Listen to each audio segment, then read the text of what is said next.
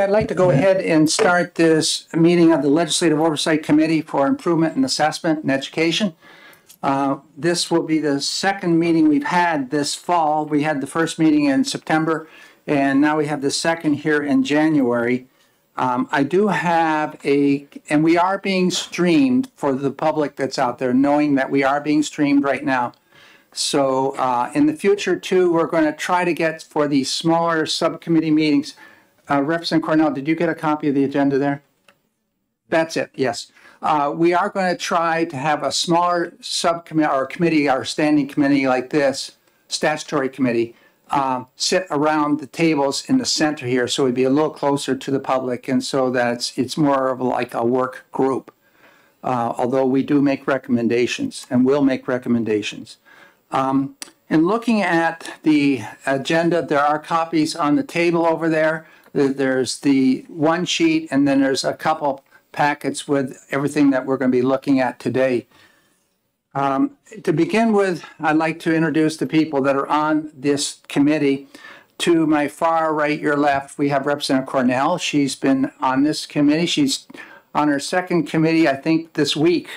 Ye- Yesterday it was career tech education, and, and today this, and then tomorrow another, and the day after that another. It's a, it's a busy schedule. And then we have Representative Luneau, who is a member of this committee. Um, and Representative Luneau, of course, has been here on education for years and, and is very knowledgeable of this area that we're talking about. Next, beside him, we have Representative Myler, who is a past chair of House Education and is the ranking uh, uh, representative.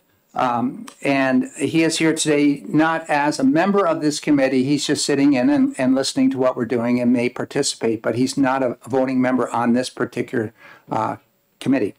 And then we have Representative uh, Cordelli. Representative Cordelli is the vice chair of, of this, uh, uh, of the Education Committee and has also been on education for a number of years. Myself, Rick Ladd from Haverhill, and to my left, we have Senator Ruth Ward. Senator Ward is cha- chair of the Senate Education uh, Committee and on numerous other committees as well. It's uh, as a senator, you are, you know, obligated to sometimes two, or three. I don't know how many committees, standing committees, but uh, it's quite a task. We appreciate her having the time today to come to this particular meeting. She is a voting member on this committee to start out on our agenda here so we don't waste any time, I just put as number one, and I want to refresh everybody as far as what are the duties of the Legislative Oversight Committee. This is a committee that was reinstated in the last year. It had been eliminated. However, this committee has some very important tasks, and reading through them, I'll do it very quickly. These are summarized. These are not specifically how it's stated in statute. The legislative committee shall review the development and implementation of school performance and accountability program. So that's that's quite a task in itself. Submit an annual report. That report submitted to the the Senate, to the House, to the state librarian, um, etc. Uh, C. Propose legislation that is needed as a result of the review of the progress and results of the policies implemented under this chapter. So we are responsible for uh, submitting any new legislation that we see as necessary or needed. D, confer with Commissioner of the State Board, uh, the Commissioner and the State Board of Education to identify and support improved school performance and accountability. So we work closely with the department and with the State Board. E, analyze existing Department of Education programs and initiatives which support improved school performance and accountability. That's right down our bailiwick right now that we have to be addressing how we're looking at improving where we are in our academic uh, programs and accountability for those programs.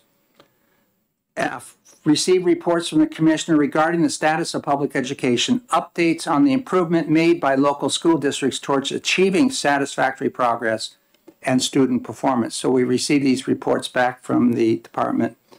G, review and approve statewide performance targets developed by the Department of Education and recommend to the Legislative Oversight Committee uh, by the State Board of Education. So any kind of uh, changes in targets have to be recommended to this committee and receive this committee's approval. H, receive reports from the State Board of Education, including rules recommended by the department relative to statewide performance targets, required under RSA 193H2 and proposed legislation to be submitted to establish such statewide performance targets in state statute during the legislative season, session. Review the unique pupil identification system and propose areas within. So that's another area of dealing with confidentiality of student records and of personnel working here.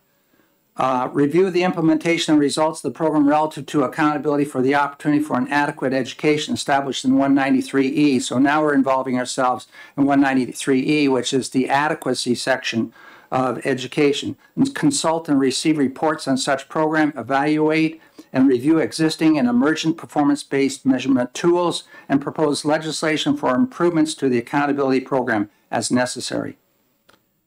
K, receive security breach reports from the Department of Education pursuant to RSA 189 colon 66. Consult with the commissioner and propose legislation needed as a result of the review. So that's one area we really not have been involved with. I hope we aren't. I hope we have no security breaches, but in that case, this committee becomes involved. Review and make recommendations relating to academic standards and under consideration by the State Board of Education pursuant to 193E to a colon 4 parentheses C. So there's a huge task in itself that we review and approve these academic standards. So today, what I've asked under number two here, I've met just recently several times with uh, Dr. Uh, Nate Green. Uh, Nate is working over at the Department of Education. Uh, he works downstairs in dealing with all this data and information, and is a, a data analysis. And uh, we hopefully we can give them support this year with supporting aid and support through some of our legislation. But I asked him to come today and explain to where we are, try to define and speak to academic standards and the minimum standards for public school approval. There has been some, not some, I, you know, in the papers you, you hear of it, um, concerns regarding the, the process which is going on right now for the minimum standards for public school approval. Um, at this time, uh, Nate's going to just give us an update where we are and try to help us define the difference between these academic standards and the minimum public school standard, public standards for public school approval. M- Mr. Chair? Yes. Could I, um, could I make a couple of comments before we start in with, um, Dr. Green? Uh, if it's, No, no, just relevant to what you were just Okay, talking go about. ahead, Ab- yes. Absolutely. Yes, yes. Absolutely. So, so thanks very much, Rick, and, and, uh, thanks everybody for, for joining us here this morning for our, our introductory meeting. I'm glad, uh, the chair read through the, uh, the duties which are enumerated in the, uh, the statute that establishes this committee. But, uh, but I think it's also worth, um, just r- reminding the members of the committee and members of the public um, uh, some of the uh, some of the language from the preamble, which was the rationale behind behind establishing this committee, and specifically, and I'm just reading from parts B and C in the uh, in the preamble of the uh, of the statute uh, 193C8A, um, and uh, and it's it's very interesting, and I think it speaks a lot to um, to public schools in uh, in New Hampshire and, and, and how we, we go about doing things. But but it, it reads like this: respecting New Hampshire's long tradition of community involvement, appropriate means are established to provide an adequate educate an adequate education through an integrated system of shared responsibility between state and local government. In this system, the state establishes minimum standards for public school approval and academic standards for delivery of educational services at the local level. School districts then have the responsibility and flexibility in implementing diverse educational approaches to instruction and curriculum tailored to meet student needs. And the next part um, concludes and very importantly, it says um, uh, New Hampshire's long history of authorizing local governments in the form of local districts to develop and administer public schools pursuant to a set of minimum standards established by the state has successfully achieved on average across the state, and that's an important thing, on average across the state, high quality educational outcomes. Thank you. Thank you very much. yeah. If you open up your, your yellow uh, statutory books, which we have, the first statute there is dealing with the shared responsibility for education and list all those that are sharing that responsibility. So going in here, I welcome Nate. Um, could you please help us out with the academic standards and, and with the minimum standards for public school, school approval? Absolutely, yeah. So for the record, uh, my name is Dr. Nate Green. I'm with the New Hampshire Department of Education. Uh, currently, I'm the Bureau Administrator for the Bureau of Educational Opportunities, uh, which includes a variety of different offices. Um, one of those offices is the Office of Public Schools. Another one is uh, Assessment and Accountability. And much of the work that I'll talk about today uh, is involving both of those offices sort of simultaneously. There's a lot of overlap. Um, and I think because of that overlap, there's sometimes some inconsistencies and there's some conflation of what academic standards are and what the minimum standards are. And part of the problem is they both use the word standards. And oftentimes in education, we just talk about standards. And so part of what I want to do right off the bat is just make sure that there's a clear distinction between what we're talking about when we say academic standards and what we're talking about when we say the minimum standards for public school approval. So the minimum standards for public school approval are state regulations. They're found in uh, ED 306. And that full set of standards define the minimum requirements for a public school to be approved in the state of New Hampshire. And it includes a variety of different things, uh, things like nursing services, uh, food services, janitorial services, uh, the responsibilities of principals, teachers, as well as the responsibilities on districts when offering academic programs. And that's a key distinction that I want to point out is the minimum standards are relative to programs at the various school levels, elementary, middle, and high school. So they define what a mathematics program is required to do at a middle school level, for example, or at a high school level. Separate from the minimum standards, we have our academic standards. In New Hampshire, we call those the College and Career Ready Frameworks. They can be found on the Department of Education's website, and they are much, much more extensive documents. They are what we would you know, refer to as true academic standards. So, for example, in science, New Hampshire adopted the Next Generation Science Standards. Those are the academic standards that define what a student should know and be able to do at every grade level, K through 12, in science. So if you're looking at a third grader in science, the next generation science standards are going to lay out a whole set of standards for what that third grader should be able to do by the end of that grade. Similarly, in high school, if we're looking at something like chemistry, there's going to be a whole set of standards in the NGSS that lays out what a chemistry student should be able to do at the end of a chemistry course. And so that's those are the, the differences between what the minimum standards are, which are relative to programs. So for example, in science, it might say that in a science classroom, you need to have a certain amount of laboratory space for student safety. Um, the districts need to offer a certain number of science courses. But actually identifying what a student should know and be able to do at a really granular level is outside of the minimum standards, and those are the academic standards that the state board has adopted.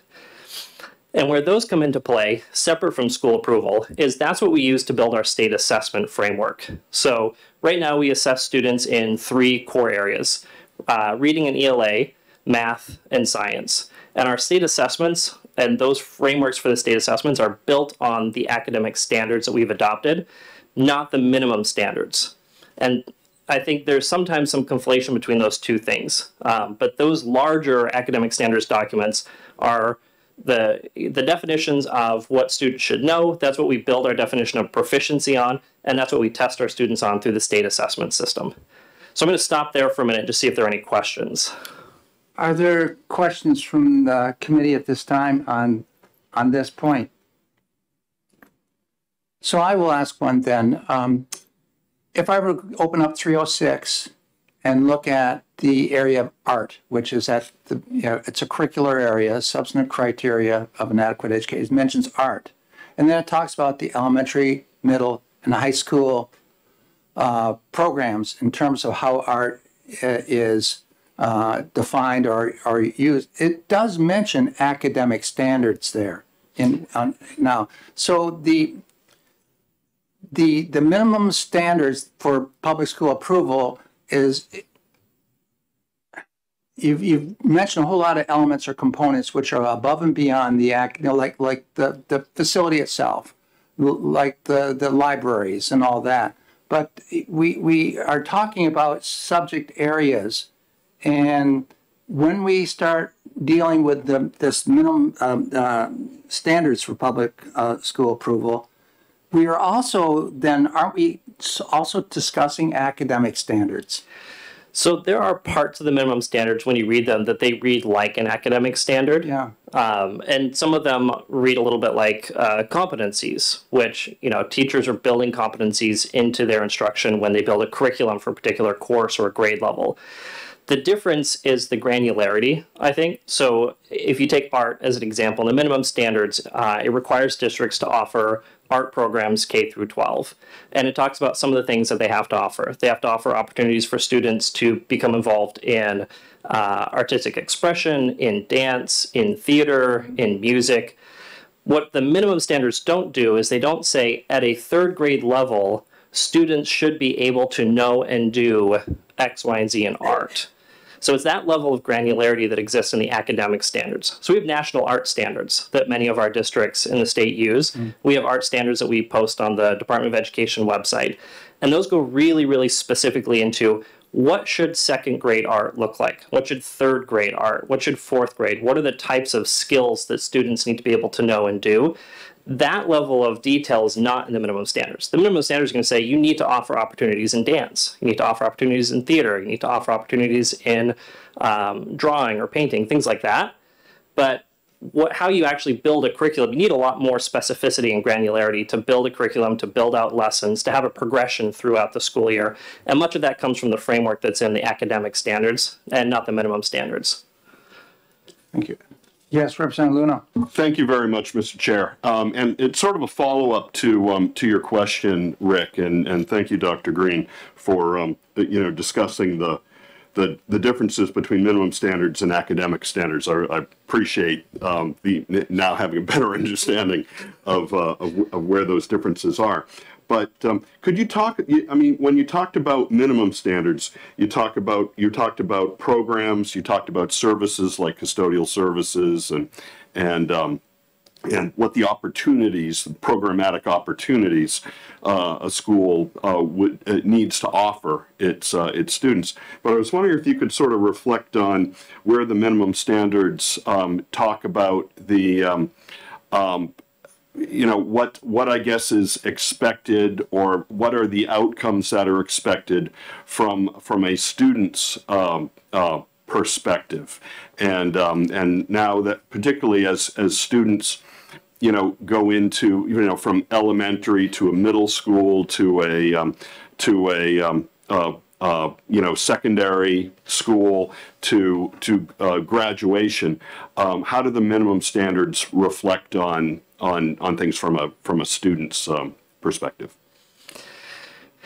So it's interesting because there are places where you can pull out. I would say you could read into the standards to say, you know, these are going to be the expectations we have on students and what the student outcomes should be and what we want.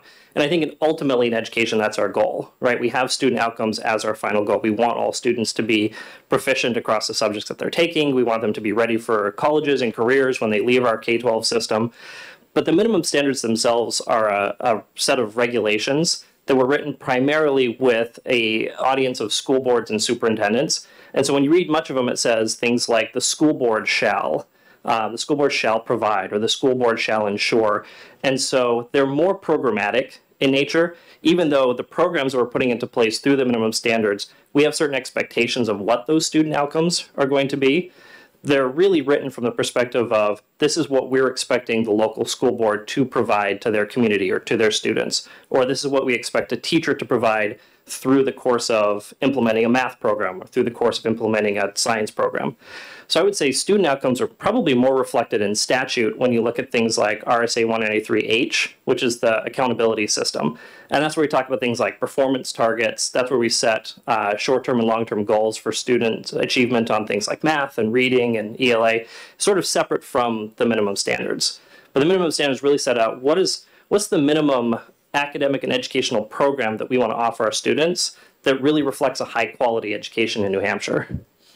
Thank you. So a follow-up to that, um, if I'm looking at 193H and I see the uh, titles of various things called performance standards for level one, level two, level three, level four.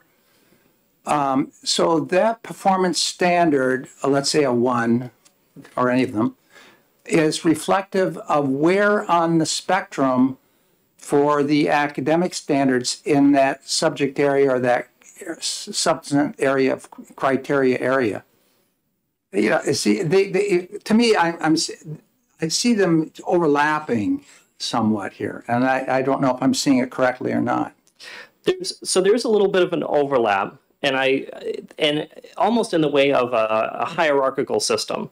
So the minimum standards, as a document of study regulations, tell a district you have to offer math, and you have to offer math K twelve every year. You know, at the high school level, students need to take four years of math. Here's a number of courses in math that they're required to have by the time they graduate. They need to reflect things like algebra and geometry. And then when teachers sit down or, or principals sit down or curriculum directors sit down and they start to build those programs, they're generally not going to the minimum standards because the minimum standards say this is what you have to do. But now, as you build that out, we have the academic standards over here that say, you know, in geometry, here are the you know 25 or 30 concepts that students really should be able to understand. Whether you know we're looking at uh, shapes or proofs or uh, angles. You know, if you if you want to know about sine, cosine, and tangent within geometry, those words are not going to ever appear in the minimum standards. Yeah. But we know that that is a crucial part of learning geometry and understanding angles and shapes. Uh, and for the record, I'm not a geometry teacher, so if I try not to delve too far deeply into that particular thing, I was a chemistry teacher, so maybe I should use those as examples. Um, those academic standards are also what we build the state assessment on. So when we talk about proficiency, when we first uh, built the current state assessment that we're using now back in like 16, 17, we brought in groups of teachers at the different grade levels, and we had the teachers go through the standards, so not the minimum standards, but the academic standards, the college and career ready frameworks. And they actually took the assessment. They went through each of the questions, and then they sat down with uh, psychometricians. They sat down with researchers that were part of the assessment company that the state uses, and we determined what level of performance did students need to have on each of the various questions and how many questions and how what kinds of answers do they have to provide in order for the student's performance to be reflective of those academic standards? And that's how we set the level one two three and four. It was a pretty lengthy process that involved teachers at all those different grade levels throughout the state. So it's not something that's set for us by the assessment company. It's actually something that we build through uh, collaboration with teachers in the field that are teaching at each of those different grade levels. Um, but the minimum standards were not part of that piece of it. So proficiency and performance on the assessments comes from those academic standards mm-hmm. and mapping back to those standards, not necessarily to the minimum standards though the minimum standards do require that we have to teach math in our schools. Representative Cordelli? Thank you, Mr. Chairman. Uh, thank you, Dr. Green. Um, in addition um, to the level one through four proficiency, um, there are also state targets for proficiency. And am I correct in that those are defined as part of the um, ESSA state plan that is developed by the uh, department and um, stakeholders? Yes. Yeah. So one of the things that we're required to do as part of the state plan, we have to set um, annual uh, benchmark and targets um, statewide, and uh, we did that through a. Um, I would say it's probably a, a, little bit of a logistical regression process where we looked at when we wrote the state plan back in you know 16, 17, 17, 18, looking at the past three or four years of student performance and trying to project out what were the types of gains that we felt like were realistic to continue to push student performance up. Uh, now, I will say that was pre-pandemic. Um, so the state targets that we had for several of those years, we ended up um, securing a waiver through the U.S. Department of Education for. So for uh, the school years 19 and 20, we had state targets that we were, uh, you know, going to meet. We've actually pushed all those targets out now for two years. Um, and we looked at the 19 school year and the 20 school year uh, as just sort of being steady in terms of student performance, um, particularly because we didn't run the state assessment uh, in the 1920 school year. Representative Luneau? Thank you very much, uh, Mr. Chair. Thanks very much, Dr. Green. Um, Going back to the um, to the academic standards, I was wondering if you could talk a little bit about how um, how the um, uh, the standards as as written are, I guess, informed by um, by other state statutes, like um, like our recently passed Holocaust studies and um, and uh, concepts legislation. Sure. So we have a variety of different academic standards that are all posted on the website under the, the title of College and Career Ready Frameworks. So there are art standards, there are business education standards, um, I believe there are family and consumer science standards. Uh, but the three that have gone through sort of the really rigorous um, you know, public outreach and comment period and been adopted by the state board are the math, uh, ELA and reading, and science standards, because those are the ones that we're required to have as statewide uh, academic standards for the purposes of the state assessments. Um, so things like the Holocaust and genocide uh, standards live within the minimum standards. We don't necessarily have statewide academic standards that relate to that. One, I think because it's relatively new, uh, and two, because we don't have a state assessment. Um, and one of the things we have in New Hampshire as well is the state is required to adopt these academic standards for the purposes of having a test that assesses all students equally across the board. However, there's no requirement that school districts actually use the standards that are adopted by the State Board of Education. So, you know, we encourage them to because all of their students are going to be assessed on an assessment that is tied to those standards. But school districts are not required to adopt those standards locally. They could choose to adopt a different set of, of state or national standards if the local school board chose to. And a follow-up? Yes. Thanks. Um, and so, so going back to the example of the uh, Holocaust and genocide studies, um, you, you you said that that that feeds into the minimum standards as opposed to the academic standards. Um, and and so uh, would would the academic standards be then updated sometime to um, uh, maybe in the next round of updates for a, a certain curriculum area um, to include um, that subject matter? Absolutely. Yeah. And one of the key differences here is that anything that is enumerated within the minimum standards is a requirement of public schools. You have to do it, um, it is a state regulation. But if it's in the academic standards, again, districts have the choice whether or not to use those academic standards to build their curriculum or not. So that's another key difference between minimum standards and academic standards. One is a choice and one is a state regulation. So the regulations around the Holocaust and genocide studies require districts to teach them and to include those components that are within it. We also have statewide social studies academic standards, and there are aspects of Holocaust and genocide content that is within the social studies standards. But districts would have a choice whether to use those standards or to adopt a different set of standards if they chose. So, Nate, a proficiency score on a national test assessment indicates compen, uh, proficiency in that competency. Does that correlate to our, our standards here in the state? Uh, so separate from our state assessment, Yes. Um, they should. So there, there are different studies. It depends on the exams that we're talking about. Um, so, for example, we use at the 11th grade level the SAT for our juniors, for 11th graders. Um, and so they're being assessed on math, reading, and ELA through the SAT. We know that, for example, with the SAT, there's also comparability with the ACT. So students that are scoring a certain you know level or score on the SAT for our state tests will most likely score a similar or comparable score on the ACT. So it, it really probably depends on the type of assessment um, and the test that's being given. We've done some comparability studies across subject areas. So for example, a student that scores a certain score on the math test, we know will likely score within a certain range on a science test because there's some comparability between math and science. There's a little bit less comparability, say, between English and science and English and math.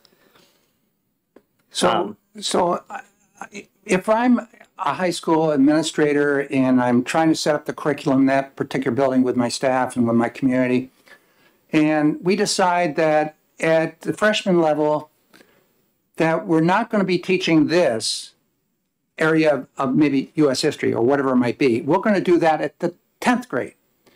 And yet we assess using a national instrument that may assume that you've had that U.S. history at the ninth grade. And so our proficiency may not look good, well, simply because we haven't taught it uh, yet. It's in the next year coming. Do we run in that alignment problem between our testing instruments and how the locals have decided to set up their curriculum? Because that is a local responsibility. So there's a one area where we have run into some alignment issues. Um, I think with math and ELA, we're good. Um, You know, we part of the reason why we assess in the spring of the junior year is because much of what is on the test is being taught across the state in uh, ninth, tenth, and the first half of eleventh grade. So in in that respect, I think that assessment is a, a good assessment of where students are at. Um, However, with the science test for juniors, one of the things that we've noticed is our current science assessment assesses students across three different content areas physical science, life science, and earth and space science.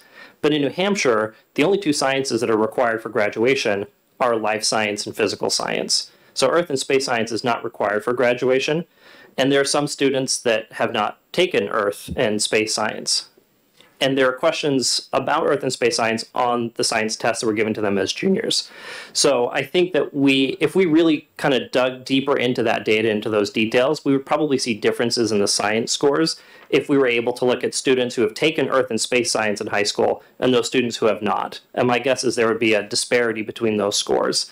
Uh, we are currently working with our assessment vendor to do some changes to the alignment of our science test to make it more reflect the actual requirements on school districts. But that's more a result of state requirements and not necessarily it, you know any act that's you know a local school district you know is changing their curriculum. That really is just purely because of what we require as a state. Yes, Representative Luneau. Thank you very much, Mr. Chair. So, uh, wanted to uh, pick on what we were just talking about here a little bit. So, Earth and space science, uh, again, for for for example. So, um, can can you uh, talk with us a little bit about school districts that do um, uh, uh, include uh, Earth and space science in their um, in their science curriculum, uh, and uh, and maybe you know are, are, are, is that most districts or some districts or few districts, and in the end, how does that play out on um, on on our students' outcomes and what their you know opportunities are for success? So this is one of those times where you, you do have an overlap between the academic standards and the minimum standards, and you know, with the science test, how they both come into play. So all school districts offer Earth and Space Science. Um, the minimum standards require districts to offer it. What they don't do is require students to take it. So as a student, you have a choice. Mm-hmm. Um, and so some students, you know, may take uh, physical science their freshman year, they may take biology their sophomore year, and then junior year they decide, you know, I really want to go into uh, the medical field. I'm going to take human anatomy and physiology and maybe their you know friend takes earth space science. When they go to take the science assessment their junior year one of those students is going to have taken earth and space science and one has not. And so there's probably going to be a difference in the science scores for those two students purely because of student choice. Uh, you know no part so all districts are required to offer it by the minimum standards but not every student is required to take it. Thank you.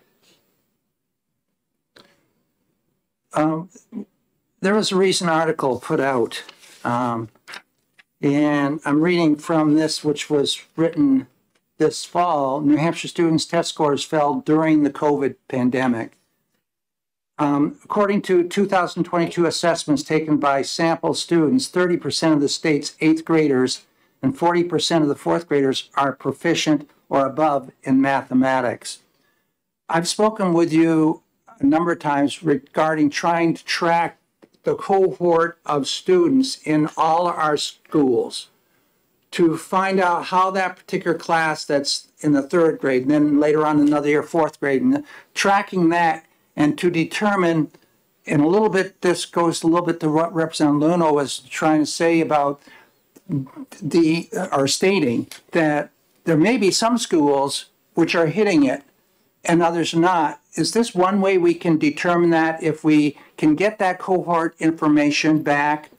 I know we we're trying to get an, uh, somebody to analyze that stuff for you, and I know that you're shallow in staff there, but um, I, you know I'm concerned that we're we're doing something that we've got to look at and find out where our strengths are. Why are they strong in certain locations and maybe not in others? Is it a result of instructional staff? Is a result of aspiration of the community? Is it a result of supervision in the school, leadership, parent, you know, aspiration? I, I don't know. And yet we, we need to get our math scores higher. And I don't think it's necessarily just a result of the pandemic. that we were sliding in mathematics prior to this. So I guess the question is, you know, will that cohort information help us understand where we need to really address some of our, our, our support from the legislature to help get that, you know, level increased higher in stars to achievement? Yeah, so that's, you know, we're a big proponent of providing as much data as we can to school districts. Uh, you know, to your point, I think there could be a lot of reasons that live behind what the data says. You know, whether that is changes that need to be made in instruction and curriculum, whether it's a result of particular cohorts of students and the experiences and the environment that those students are in, um, whether it's you know cultural shifts within school districts changes in administration we know all of that can impact overall school programs and data. So we're in the process or we're in the final stages of publishing a dashboard um, that will live within our website that's going to show that kind of cohort data. Um, we sort of call them heat maps but essentially you'll be able to see a table for each school that shows each of the grades and their proficiency percentages as they move through. So you'll see this class, you know, in third grade had this proficiency. Here's where that class was fourth grade the next year. Here's where they were fifth grade the next year, sixth grade. And you'll be able to see, you know, kind of a straight line, the proficiencies for cohorts of students as they've moved through grades. And we think that that's going to be data that's, you know, useful for schools and districts that are looking at trying to identify what what are the issues. You know, maybe there's particular cohorts of students they want to focus on, or maybe there's particular grades. You know, we know, and not just in New Hampshire, um, but fifth grade and eighth grade, we tend to see larger changes in assessment scores, um, possibly as a result of students moving from one building to another building or coming to the end of uh, middle school. So there are different places where we know that if we have the data and we're seeing changes in assessment scores, whether they're going up or down, we'll know where to target specific resources for those students. I'm hoping by March those dashboards are going to be published. Um, hopefully sooner. Uh, but I'm I'm saying March, and then if I can over deliver, I will. The beginning of March or the end of March? Let's shoot for the beginning. Well, let's shoot for the beginning. That'd be great. Further questions, uh, Dr. Green? Representative Myler? Thank you, Dr. Green, for being here. Uh, I'm aware that the 306 standards are, are, rules are currently being uh, reviewed. What's the status of that review? Sure. So there's a group that's been looking at the 306 standards and have uh, proposed some revisions to that. Um, we have met with a group of teachers. We've met with a couple of other stakeholder groups. Uh, we have several meetings coming up with some of the professional associations as well. Um, but right now, they're just recommendations and revisions to the standards. My understanding is sometime in either February or March, there will most likely be an initial proposal for the state board. And at that point, it'll become a state board of education process. Um, right now, I'm working with several of those groups to try to gather uh, input and feedback as to the types of revisions that they would want to see in those standards. Follow it, please. Yes. And so what's the procedure for the input from uh, the practitioners regarding those particular standards? So I know that the the group that has been working on it is hoping to start scheduling some public meetings over the course of the next few weeks, where they can generate public feedback as well as um, some specific meetings with some of the different professional associations, like the superintendents associations, the principals association. Uh, we've met with some of the uh, curricular groups. Um, so I've had conversations with the Extended Learning Opportunity Network, um, as well as the library media specialists group. They've had some suggestions. Uh, school counselors group has provided some suggestions. So we're continuing to seek public feedback, but I know that they want to hold uh, several meetings that are just going to be open to general public feedback as opposed to targeting specific groups. So will there be general feedback prior to the final finalization of those standards going before the board? State Yes, yeah. And then once the state board takes up an initial proposal, there's always going to be, you know, public hearings involved with that as well. So there will be additional uh, public feedback and opportunities.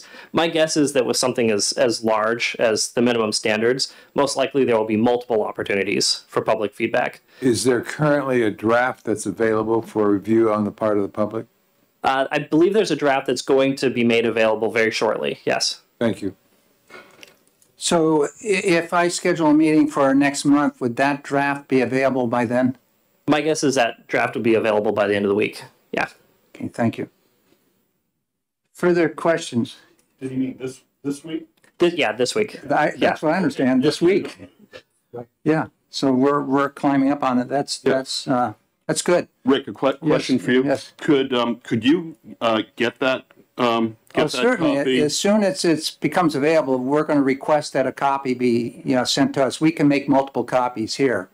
Uh, but if- could you get a, a draft to this committee as soon as it's released? Absolutely. Yeah, Yes. PDF and we can get it Yep, out to that'd this as well as the whole Yep, yep, education yep. committee. That would be Oh, great. yes, definitely. Yeah, thank you, Rick. Definitely.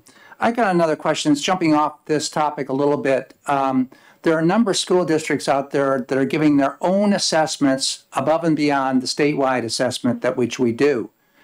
And that, that might be the um, key math test or some other test. Can you tell us the difference between a formative and a summative set, uh, test? That Sure. Yeah. Yeah. I know sometimes they're used interchangeably. They are very, very different. So folks like me within assessment circles, you know, really try to set those two things apart from each other because sometimes people try to equate the scores on one with the other, um, and they're used for very different purposes.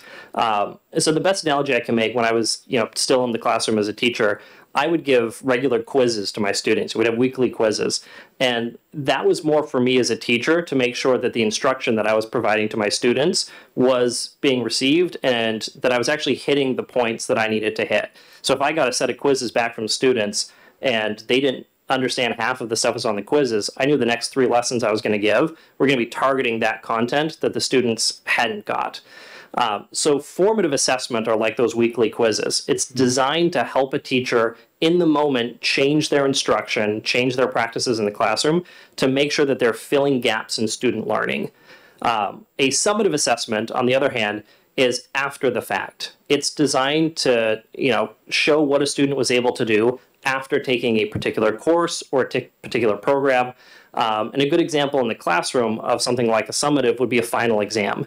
If you get to the end of a school year and it's the last day of the year and a student takes a final, that's not going to inform the teacher's instruction. You're going into summer. That's really a measurement of how did the student do at the end of the instruction.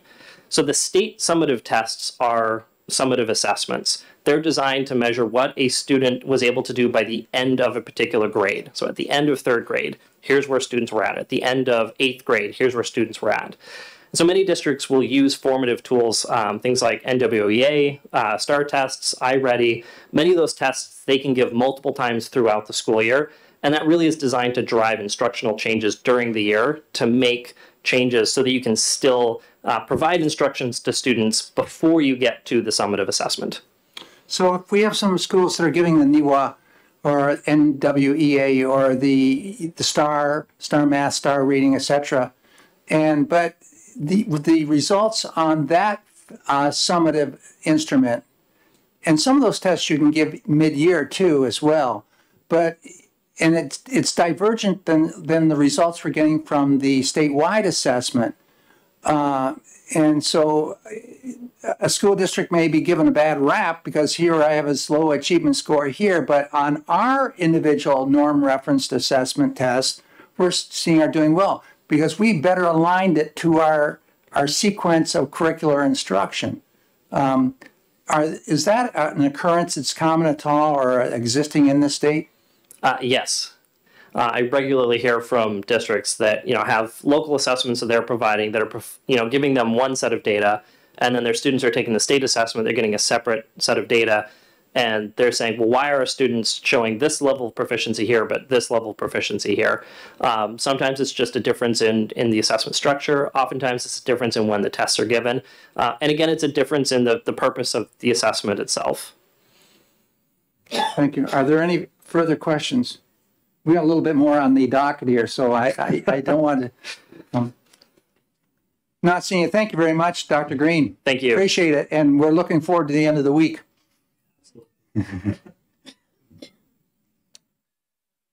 I'd like to, you know, I handed out a packet of materials here to all the folks here on the, on the committee here, and there may be a few people with packets out there. The next one down I had deals with the areas of assessment, specifically history, geography, civics, and economics, which there's a letter that um, I, I received from Mary Gile, who used to be the chairman of this committee, that I've uh, included in that packet. Um, I'm trying to locate it here. But it speaks to some of the requests, here it is right here, Um,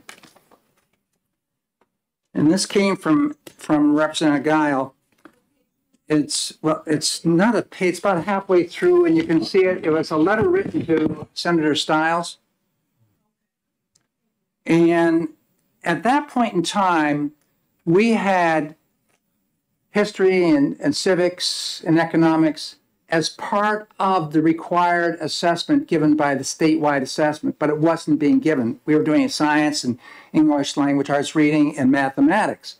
So then it was the decision of the legislature where we put into statute that this now is responsibility of the locals to assess the nature of where they are with achievement in these subject areas. My question is, is that being done? And I'm not looking to the immigration test either as being an, an, an assessment of those areas of curriculum, be it economics or be it civics or being it history. Um, so, yeah. So um, I, I, I, I throw that out there, seeing that this was a concern that was generated way back in 2014. And I'd like to know whether if we have districts which have grabbed it and are doing it, or whether they're just leaving it up to the local classroom to do an assessment as we go along, just like the grade in your report card. So somewhere along the way, I, I'm get, I'm guess asking committee members now, is this worth pursuing, or is this something that we just leave alone?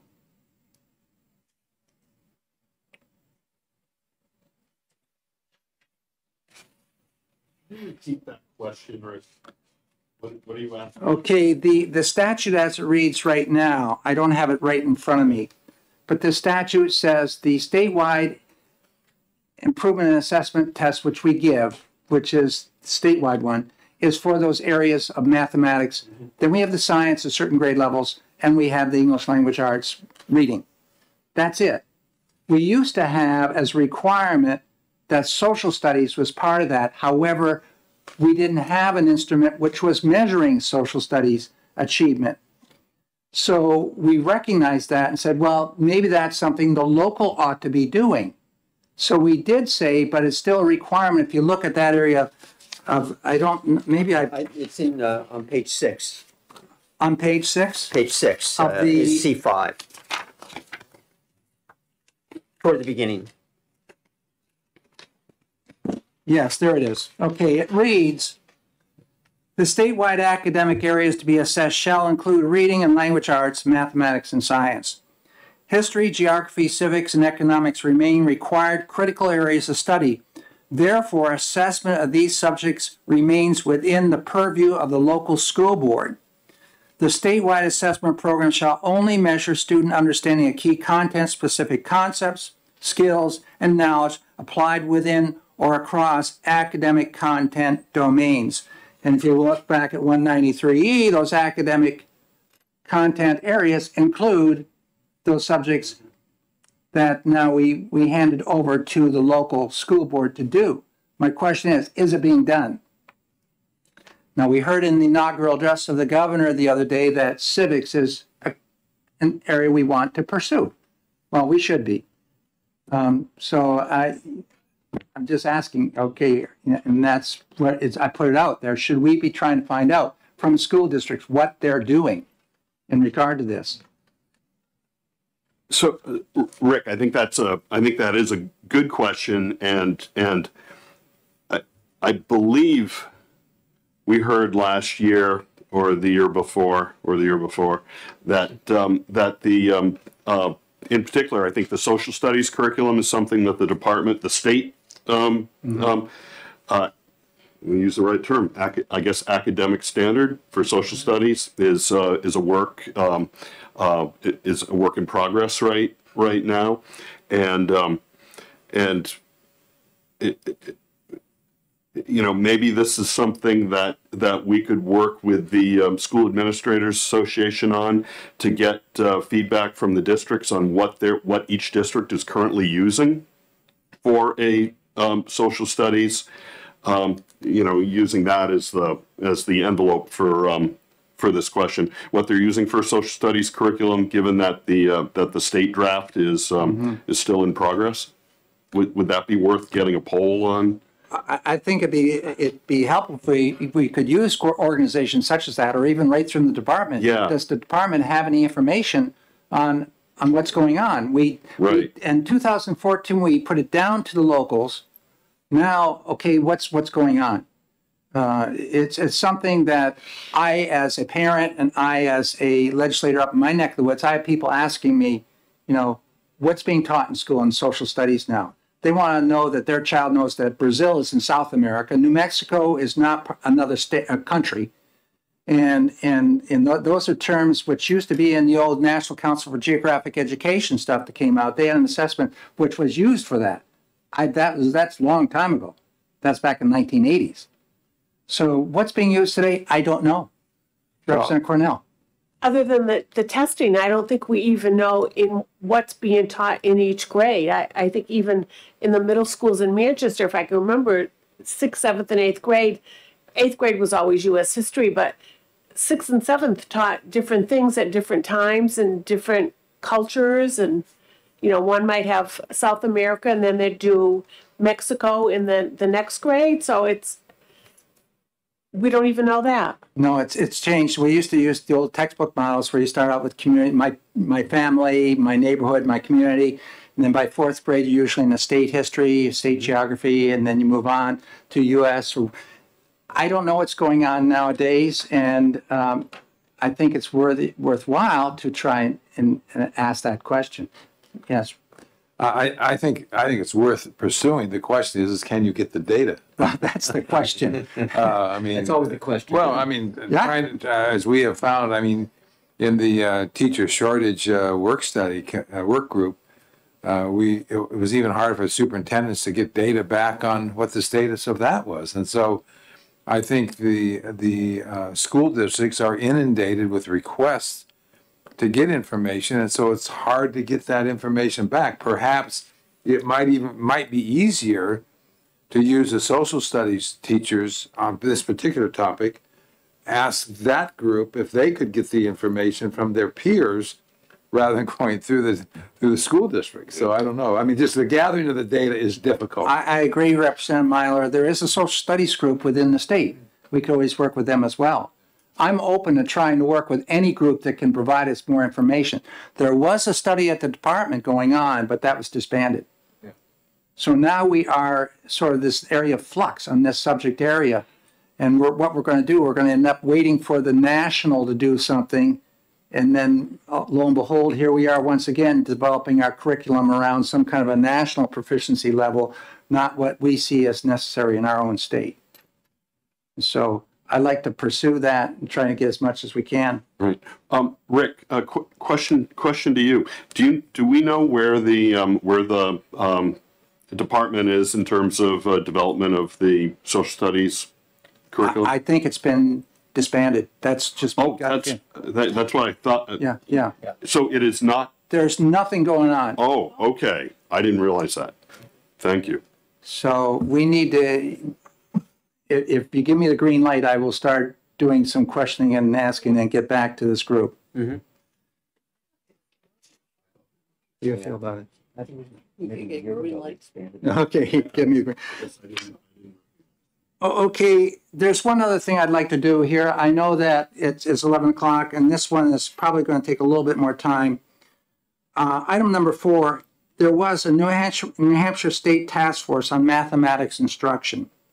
They issued a report back in January 18th, 2012. That report was chaired by Paul Leather, who was the Deputy Commissioner of Education underneath Jenny Barry at that time. And this report was a very thorough, comprehensive report from which we have taken some recommendations and we've gone and, and, and, placed them in the statute, one of which was to get involved with uh, applying our skills through STEM and CTE programs. We've done that. The fourth year of mathematics, we didn't go with the fourth year of required math course. We went with the fourth year of having math skills embedded in a course in the high school, of which had to be approved by the local school board and every student has to take at least four years of mathematics, or three years of math courses and the one year of embedded mathematics. Question I have, is that being done? It goes back to that accountability thing again. And if we could all open up to that report right here, I'd like to walk through it. And I've starred several areas which I think are, are critical and very informative. That was back done in 2012. We're looking at our state proficiency in math is going the wrong direction right now. And for what reason, I don't know. And, and, uh, but we do see it in the news. We see it, we hear it, we saw it. It's, some are saying it's all pandemic related, but according to this report, it was going on prior to that, uh, back in 2012. So on page five of that report, I've underlined, and this is coming out of 2014. It states New Hampshire must reverse the disturbing trend of poor mathematics performance in its high schools and minimize the need for remediation at post secondary institutions. Jumping on here to the next page, I underlined on page six.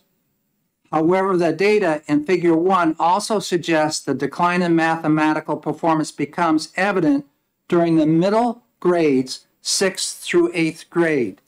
That's where that this task force started seeing the fall off. Going on to page seven.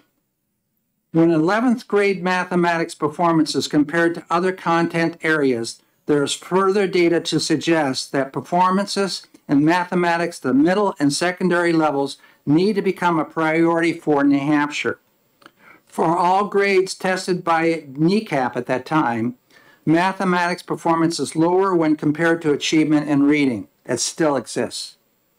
While the percentages of students proficient in reading seem to remain consistent during grades 6 through 8, this is not the case in mathematics.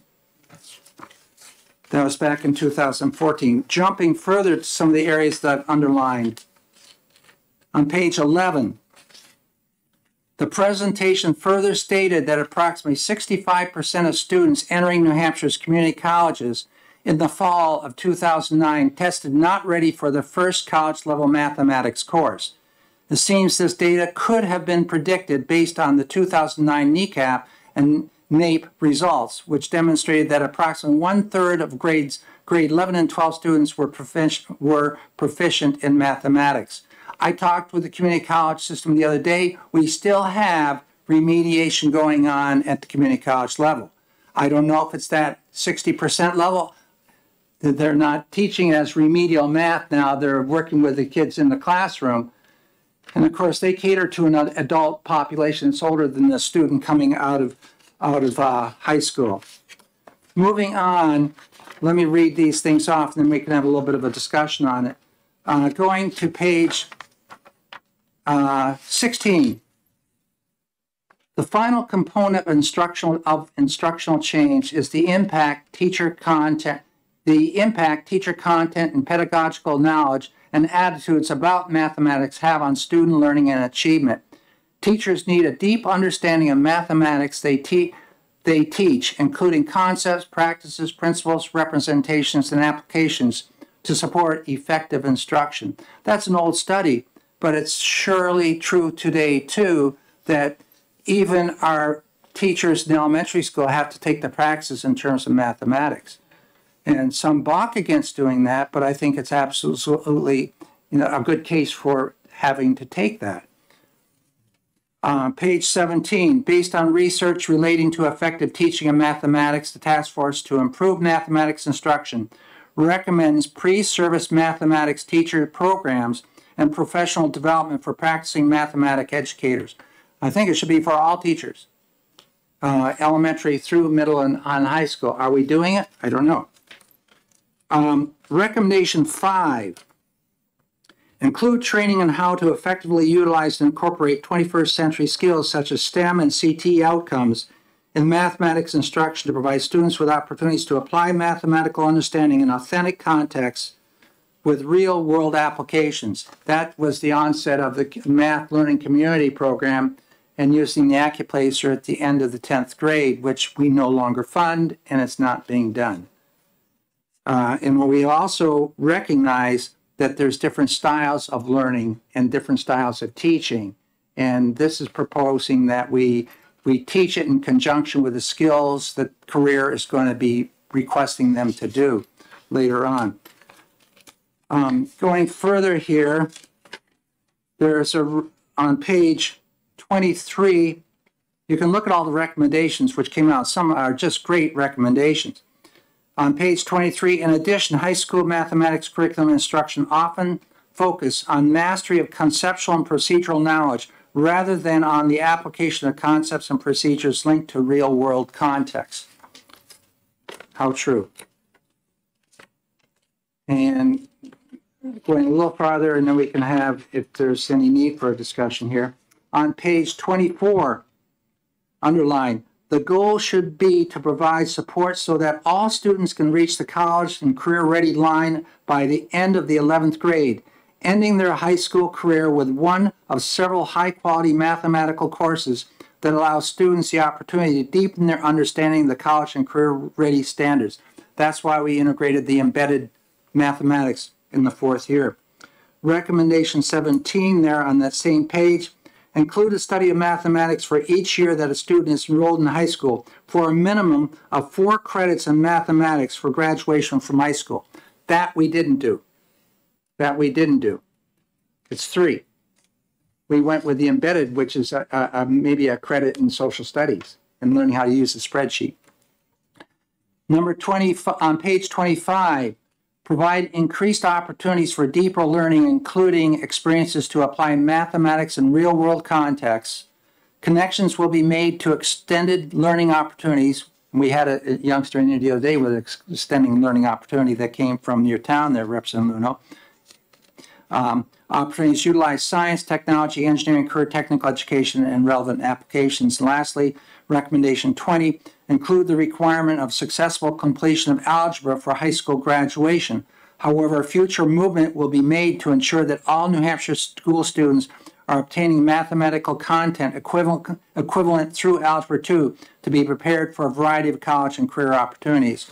We know that that is not the case, that there's a number of students coming out of Algebra 1 who are, you know, just unable to tackle Algebra 2.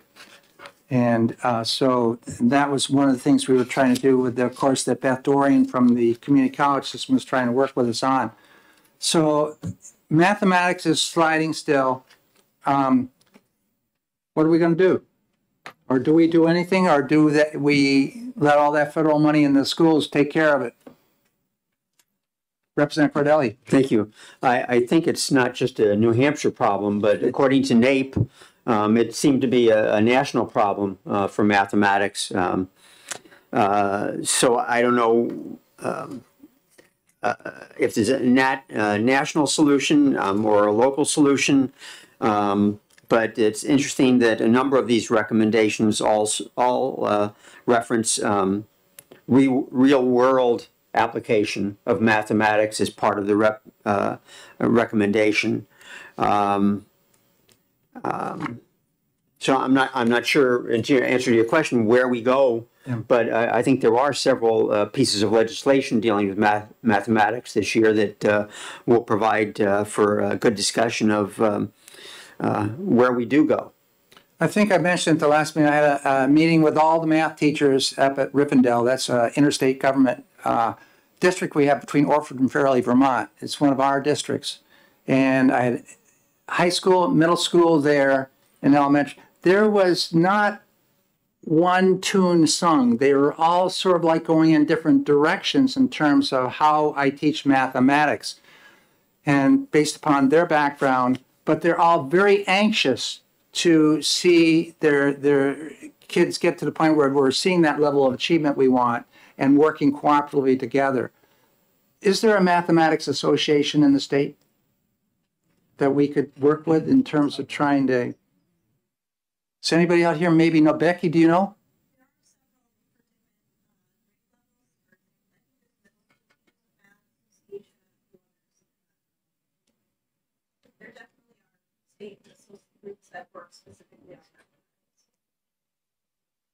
So they're just not siloing it to middle school, but are they also working with the elementary?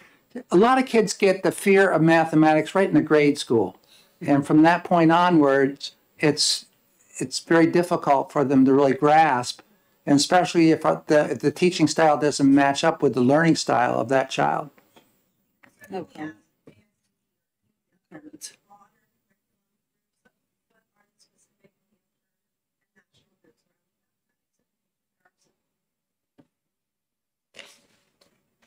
Yes, Representative Luneau. Yeah, Rick, thanks for including this because I hadn't seen this report, the leather report. That was very comprehensive. This And after ver- that, he left for Kentucky. Yeah, yeah, and and you know, and uh, obviously some of the, um, the you know the data is um, is a decade old, but I think the um, the the the issues that that it raises are um, are are certainly uh, you know contemporary, um, but but. One of the, the the thing that one of the things you skipped over on here, and I think your review on this was excellent. On page nine, Figure four has got me going here um, because it's the cohort map Yeah. and and it's it's interesting because um, it uh, it it certainly tells the story about about you know something's happening in the um, in the uh, early high school years where um, where where you, you you know the um, the um, NECAP scores in, in this case sort of fall off a cliff but in the years building up, taking a look at the cohort that moves through, and you sort of have to look at it, I think, along a diagonal going across the, the cohort map. In general, the scores are improving. They just they just fall as as as a as as the cohort goes into the more advanced grades, but across the years they um, they increase. That's how I'm reading this. Is that That's, that's how it is right across our country. And, and, you know, I had it when I was a school administrator and principal up in Alaska. We, we saw the fall start yeah? At the end of the junior high school. And, and, and then it went downhill. Um, so what can we do to try to reverse that trend? And so Yeah, we- yeah. Well, it, it, I, I think it's an there's an interesting dynamic if I'm reading this this this graph um, correctly because looking at the um, 2010 um, uh, uh, 11th grade did better than the 2009 11th grade, and they did better than the 2008 11th grade and they did better than the two, 2007 11th grade. So there was improvement horizontally, but there was decline looking at the cohort as they move through the grades. So th- there was this uh, sort of like general improvement going on, but it, but we were losing something in that in that sort of 9, 10 leading to 11 for, for every cohort. And see, and we have so many other issues approaching us now that weren't existing back at, in this era. It'd be great to get some new and, data on and, uh, this. you know, the social issues, the pandemic Yeah, related, yeah, yeah. all that, uh, families, you know, you know, they probably don't have dinner together. They have it around the TV set or while they're doing Xbox. And, and, um, I'm, I'm, I'm concerned here and I look forward to the data we might get back from Dr. Green here on following these cohorts in these subject areas. And even getting down into the weeds, not just mathematics, but getting down into the skill sets and the knowledge in mathematics. So we can see that, you know, it, it's, it's expensive to replace your whole curriculum in a school district when in fact you may just have one set of elements or themes which are needing repair, repair that, not throw the whole thing out with the, with the wash.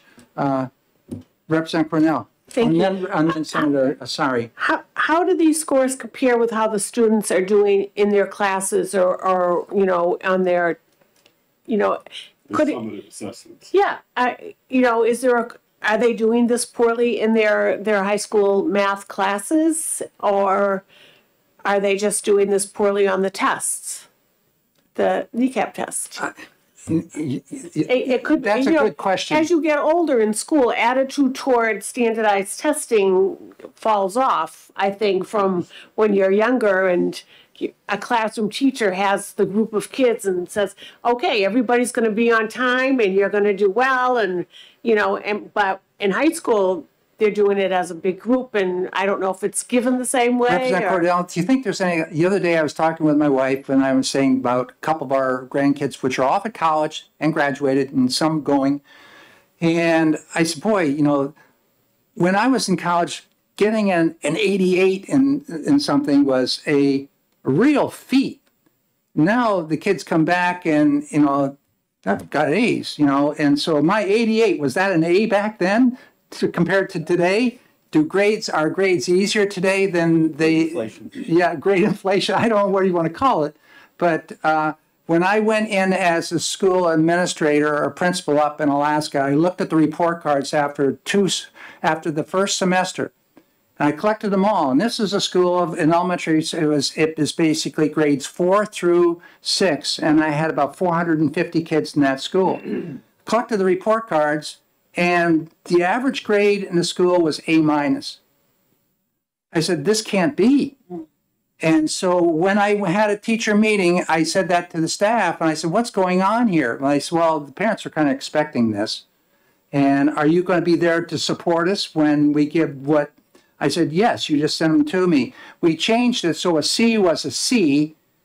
And by the end of the next year, at the same time, things have been corrected and, and actually everybody's more pleased, parent-wise, knowing their child was here and it wasn't a false report. So that, I'm not saying that's characteristic of education today everywhere, but that occurred where I was. So great inflation. Representative, Senator, what I've heard many times is that to like math is it, it's a very esoteric kind of thing, and only the very smartest can go with math. And I think this particularly something that has been told to women. Oh, you're not, mm. you know, a woman is not that the math is not for you.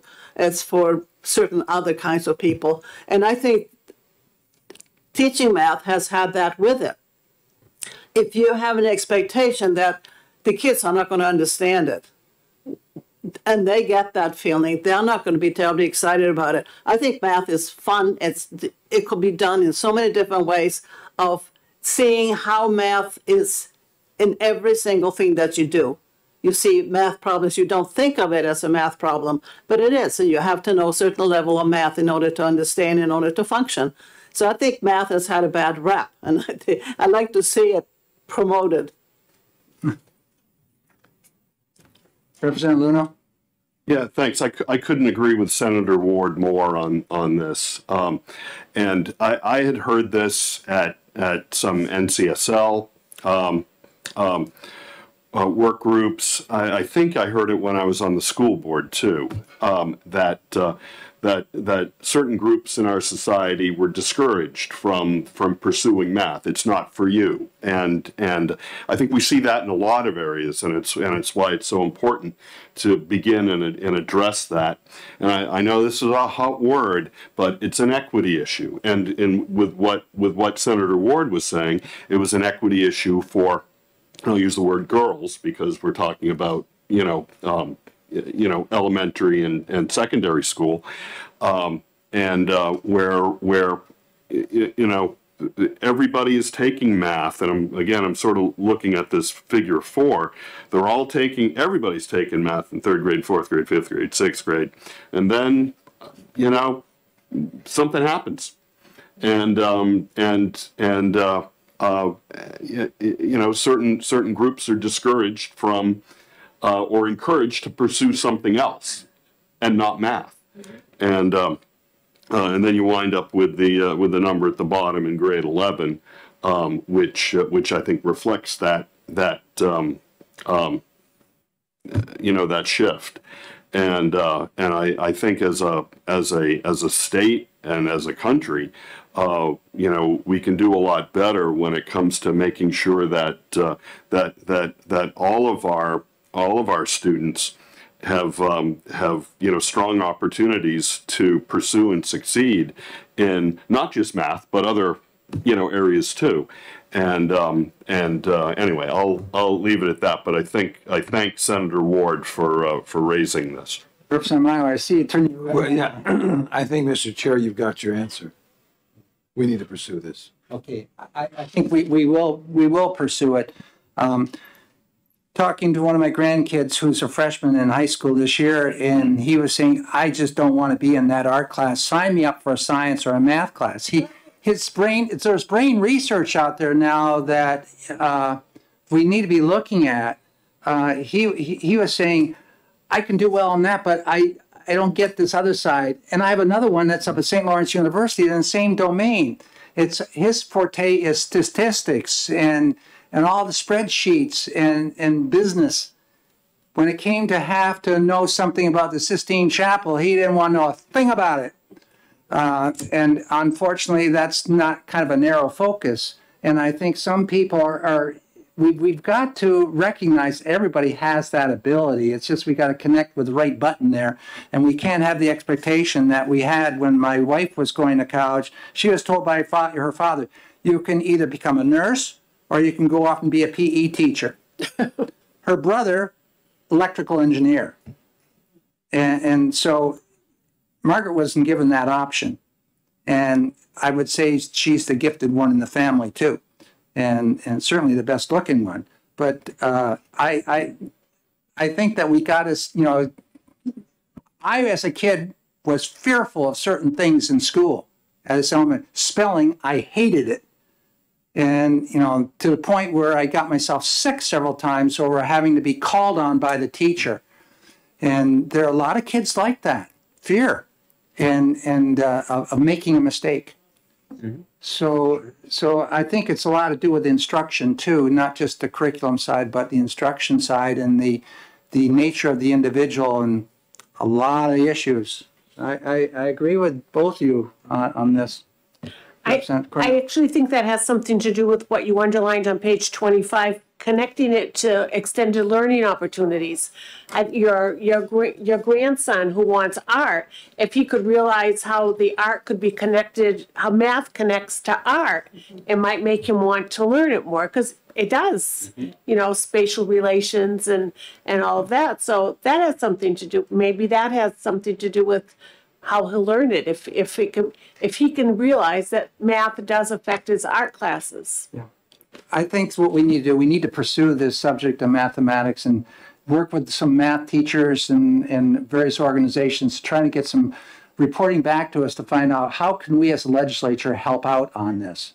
Um, and not pointing any fingers or anything like that, but just we all recognize we are at a point where we've got to do something in the state. And so I'd like to maybe use this group as a group where we can start chewing at it. Any further, Becky, I see you have a handout in the audience.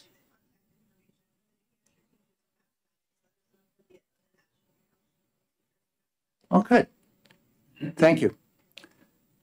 Okay, that I think takes us down to, we've done pretty much everything on that docket today. Yeah, I, I just want to comment uh, particularly on the item five dealing with the Ed three oh six. Okay, I was uh, encouraged uh, from Dr. Green's uh, comments on, this has been a very controversial issue.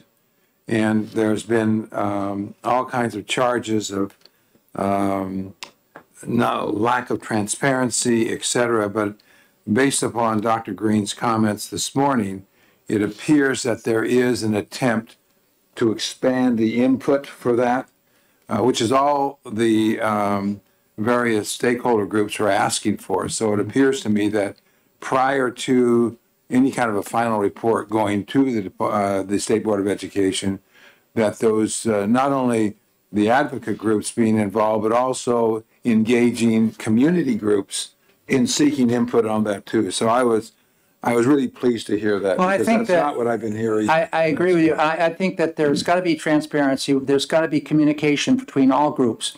And when I see the word like competency, and when I saw that initial report came out and that word was being challenged, um, acknowledgement of something, uh, uh, something such as that, um, it, it- it- that, that's a lot of statutory changes that are going on here.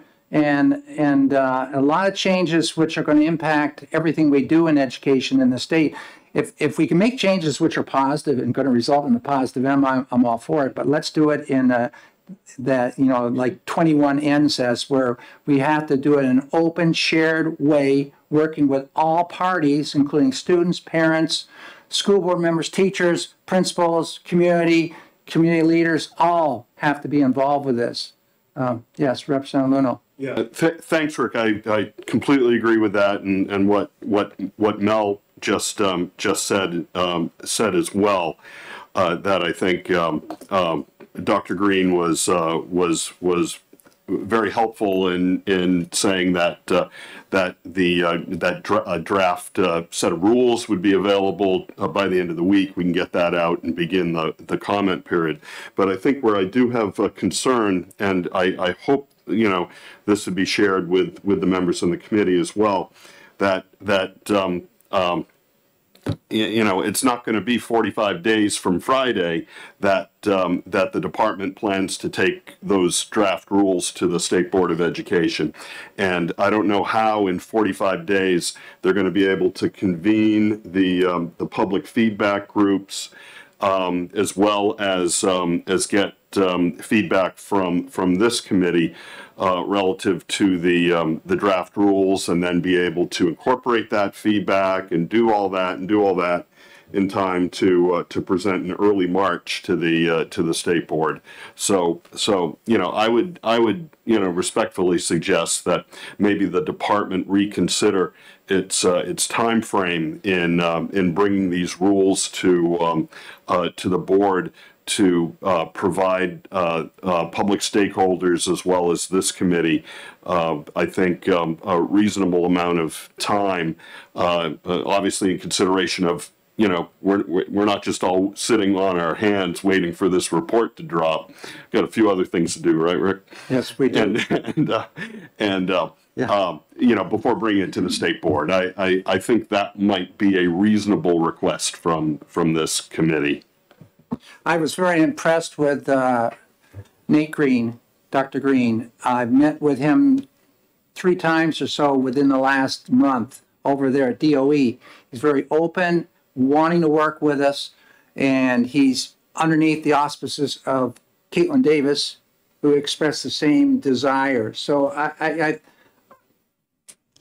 I, I'm, I'm just going to wait and see what kind of process they present. I think they've gotten the message that we're going to have to all be part of this and uh, nobody's going to take anything you know thrown at us it's got to be able to stick and and um, so Just a couple. I, I i remain hopeful Yeah, just a, a couple of comments on the, you mentioned earlier, uh, in your comments around students. I do hope that they're seeking student input. And the reason why I say that, uh, I think students bring to the table a much different perspective to their learning styles and needs than what we give them credit for.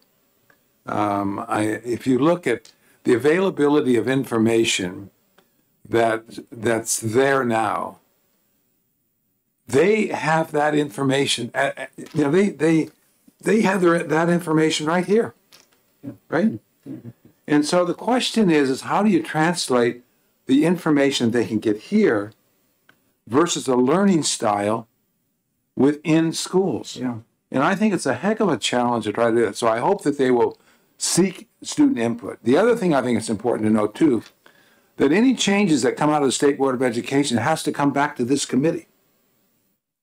The Legislative Oversight Committee looks at all that stuff that's going to be dealt with at the State Board of Education. So I think the issue of the inclusive approach to getting the data, to getting the information there before it becomes finalized, before it goes before the Rules Committee, and I think that's very important, that that input is there before the Rules Committee, because once it gets to the Rules Committee, it's awfully hard to change. it's just not input from us it's our recommendation Right, exactly. Okay. And so that, that, that's a real concern, and I agree with you on that. Junior high kids, I, I just have to get my junior high grandson down to help me pair this thing to my car.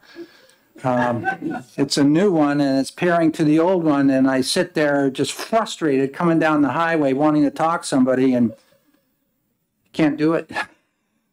So that younger generation's a good generation, but I'd also talk to the kids that are in the community college system and, and, and those that have just recently graduated to find out what was their experience like while they were in the grade school through the 12th grade in terms of mathematics. And that feedback is good feedback.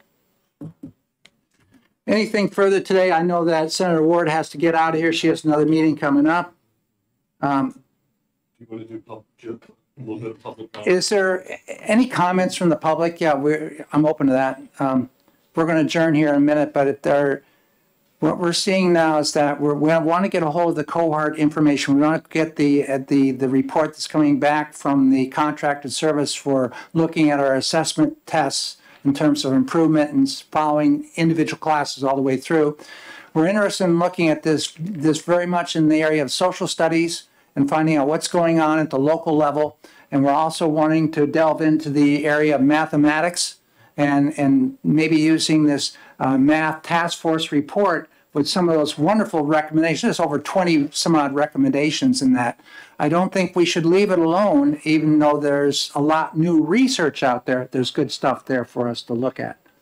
So those are the three takeaways I can take from this meeting right now, and also waiting for that big report to come in that we're all waiting for in terms of the, the minimum standards for public school approval. That's very important. Um, so with that, anything from the public? Not seeing any hands flying. Everybody wants lunch. Thank you very much all for attending today, and the next meeting will be, we'll call the chair. Yep. Well, if, if we do it, it's gonna have to be on like, um, let's see, today's a Tuesday, right? Right. Oh, that's right. So we'd have to be after, okay, we'd have to talk to those folks too. Um, I, I think it'd be great for us to have, uh, uh, if we can get a regular schedule going. Um, I'll, I'll talk with everybody here on the web and find out what days are good.